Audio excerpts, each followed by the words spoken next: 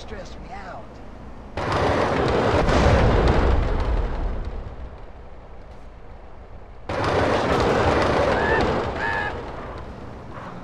I never turn down.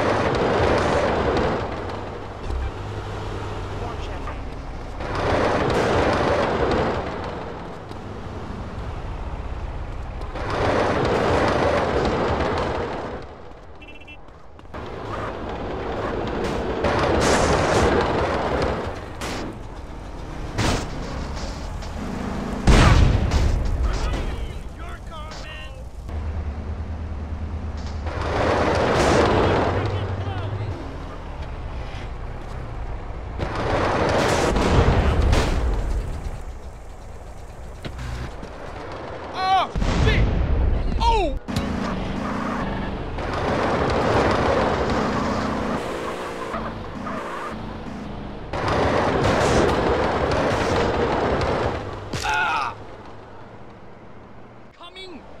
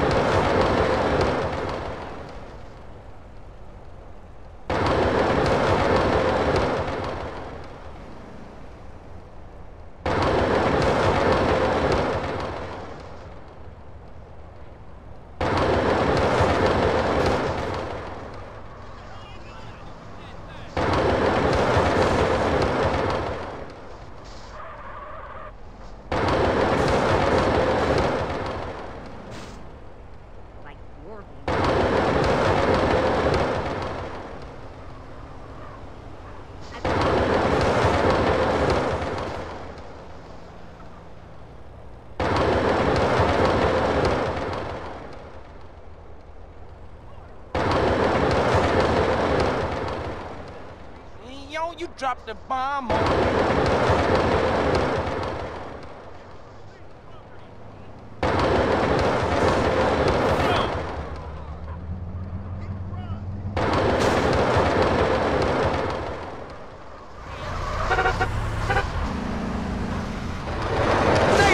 moron!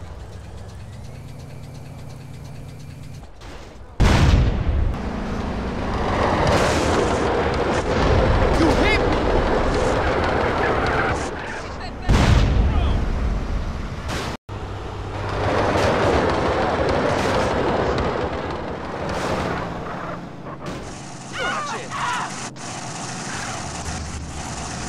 to a 1017 in Central Queens. Suspect last seen in a red off-road.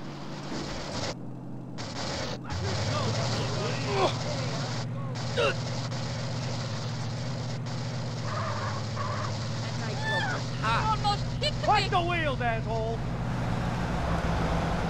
Piece of shit, Gabby's going to overheat!